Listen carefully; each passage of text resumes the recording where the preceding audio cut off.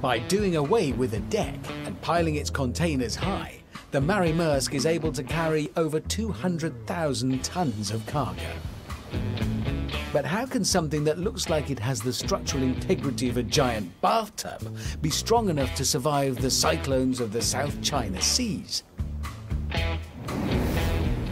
I've come to the ship's kitchen, whatever, to demonstrate something absolutely critical to ships like this, and I need this sandwich box. So imagine this is a ship. That's its deck on top.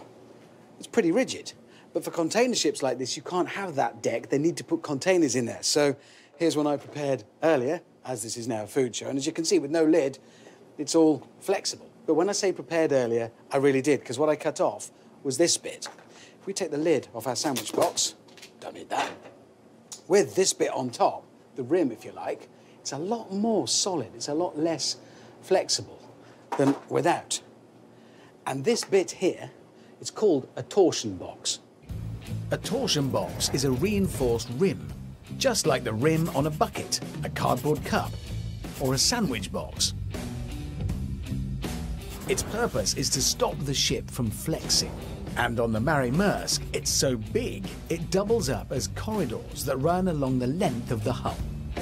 Now that's simple science used in a big way.